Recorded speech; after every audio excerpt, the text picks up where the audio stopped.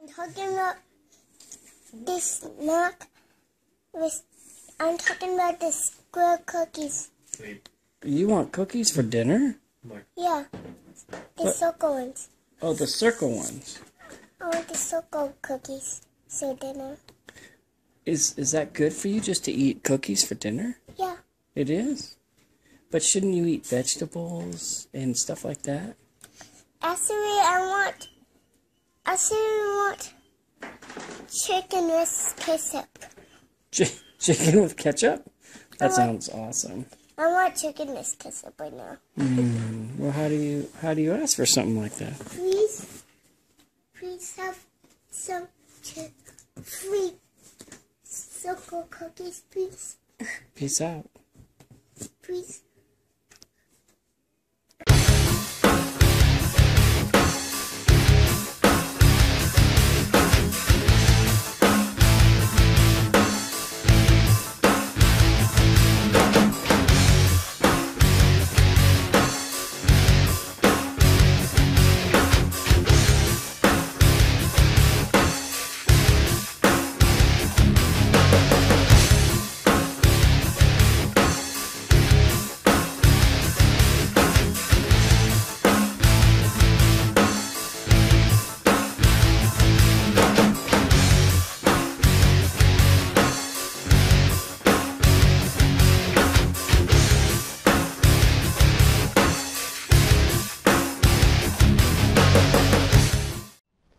So another complication is um, I snapped my little pinky toe today. I busted it a few times as a kid, and um, I clipped it on the edge of something that was wooden today as I was hustling with no shoes on, and I heard it snap, and then I went to the ground, and, now it's like super swollen. Thank you, buddy.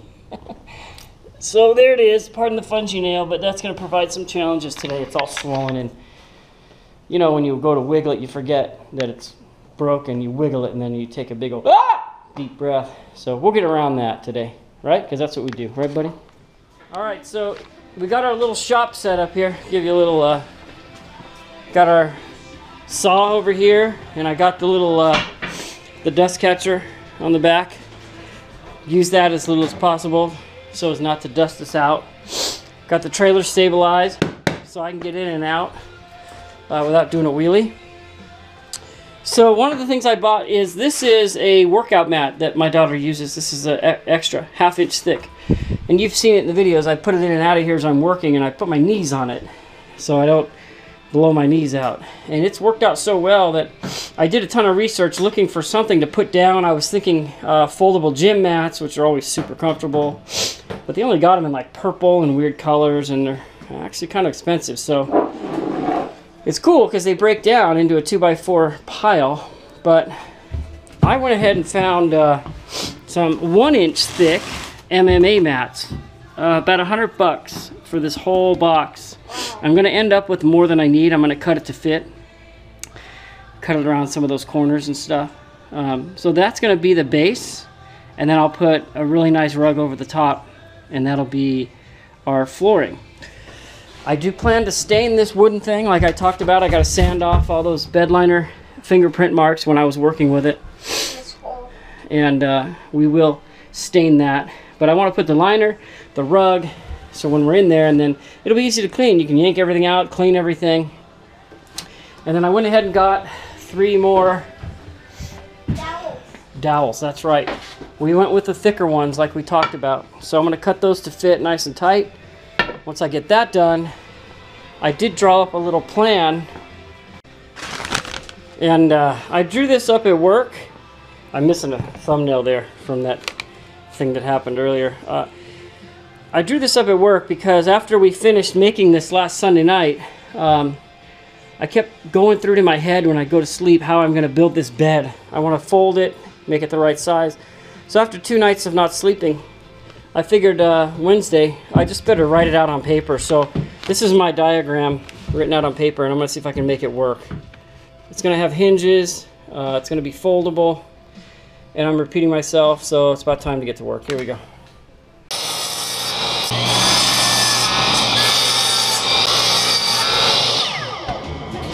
All right, we're to cut this board in here. It's to create a lot of dust. So what we're to do is we're to force the dust out. So we've opened this window and we're letting in some of that air that's coming right at us. And if we crack the garage door, son, it should suck out the dust. So we put this little napkin here and it should get sucked out when we open it. Oh yeah, so let's put that there. Yeah, we did it twice. Let's commence the cutting.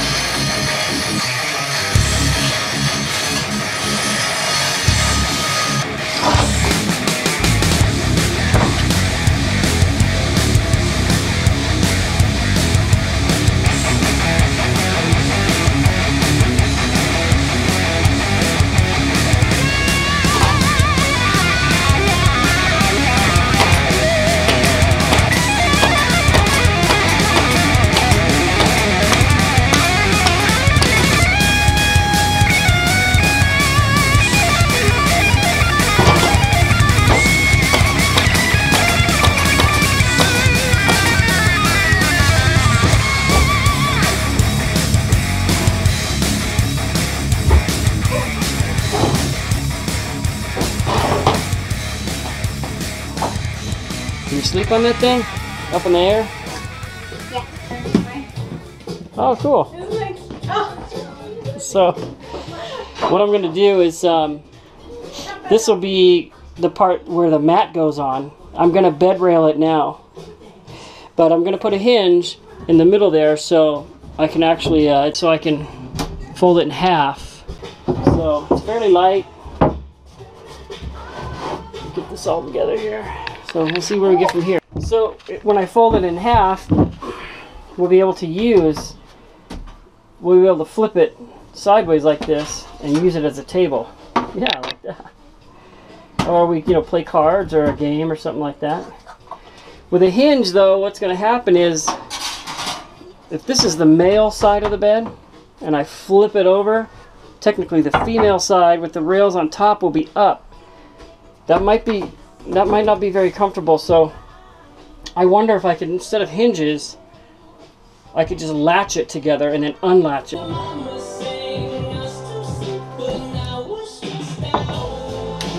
Lift it.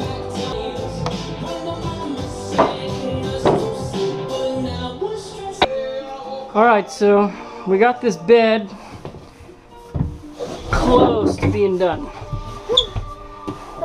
Right now, right now, I have it in the storage position.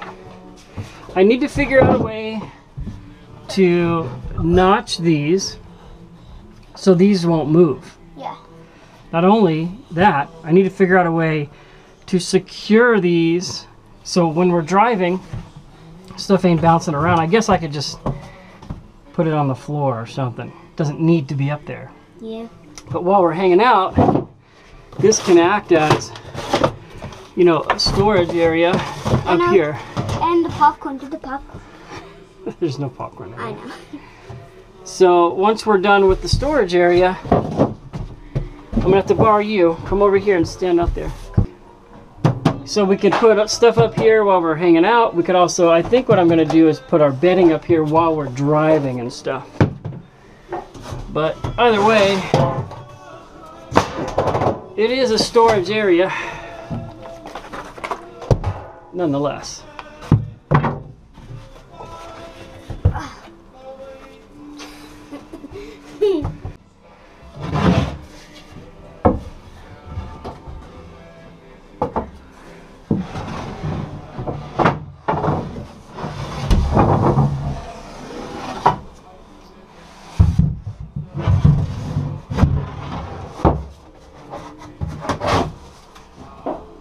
Hopefully you see how that worked there.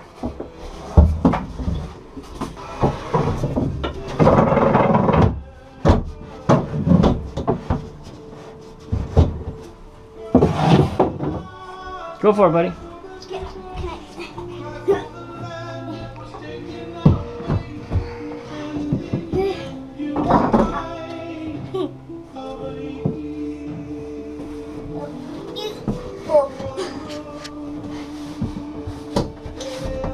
You able to sleep up there?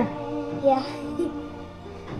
Probably not for too long because you're just not getting any smaller, but that's what we've come up with in terms of maximizing space, minimizing weight, and we can we can take it all apart when uh, if we want to open this up we can fold this up lean it up against the wall put all these dowels up here and have the whole camper open or we can do that so I think we'll drop it down and we'll try out the um, the table part you want to climb on down I'll just hold the dowels. Don't try this at home. Please. That's why yeah. Pretty much.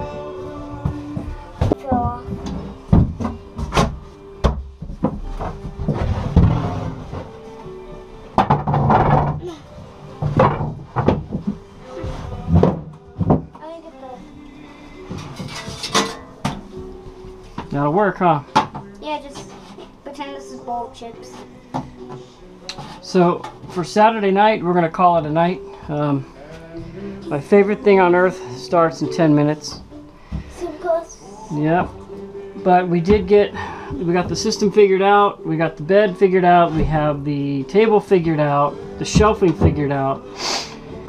Tomorrow, I'm gonna put the the padded floor in. I'm gonna figure out a way to notch this on both sides so this is stable. Also, when it's turned the other way, it's stable too. Um, and then we're gonna try to get the TV hung up here. So, thanks for watching, you guys. Stuck in the garage, listen to uh, the beautiful sounds of Hawaii.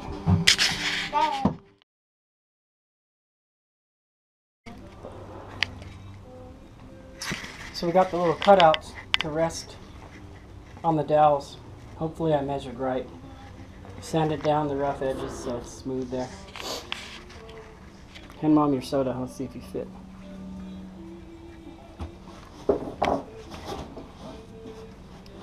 I think I'm gonna call this a one season bed because probably by next season he'll be a lot taller than this. But for now it'll work, right?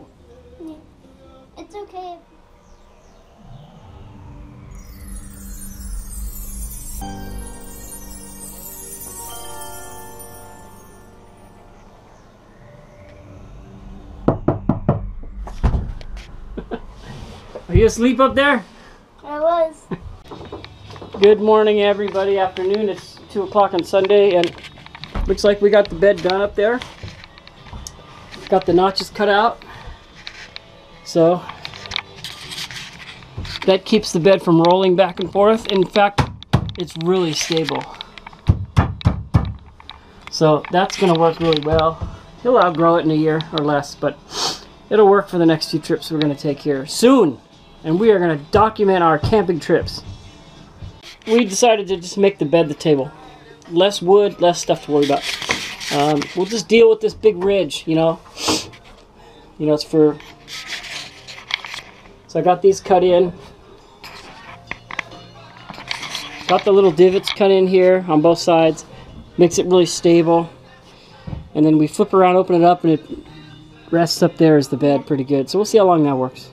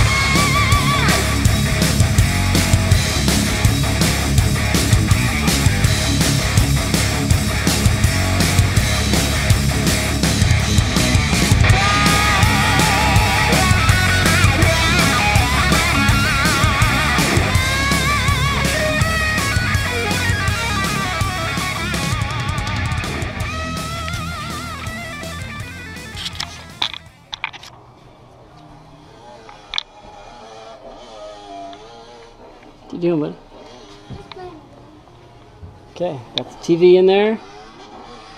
Got it mounted, playing some games. I'll dial in all those cords so they don't look so hokey. Any bigger and that TV just would have been way too um, huge for in here. So 22 incher. And he's up there playing because he wants to be up there. Alright, time to clean up a little bit. We're going to get this, the fatted, we're, we're going to get the padded foam. We're to get the padded floor cut now.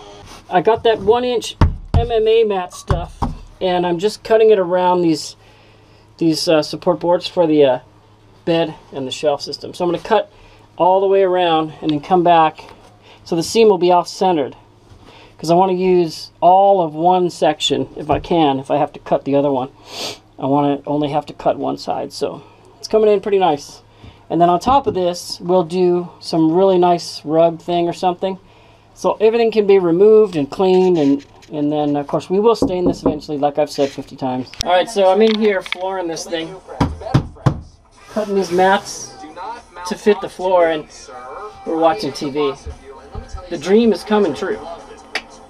So if you've been watching our little YouTube videos just search tire guy 1000 on YouTube and you'll see how we built this camper from the frame up we're not done yet but today we got in the the uh, flooring on top of the hardwood, which is basically an MMA mat cut down to uh, 4x8. And then we also installed our TV in here. And Kobe's bed's been installed up there. And uh, you want to see how it happened? Yeah, just check out our YouTube videos. There'll be a new one up tonight for everybody too. So the next videos will be all exterior, getting that all done. All right, everybody. It is uh, 7:01 Sunday night, and it is the fourth. And we got the TV done, and uh, we got the flooring done, which is that one-inch thick mat, and it's all cut around all the boards, and it fits in super tight.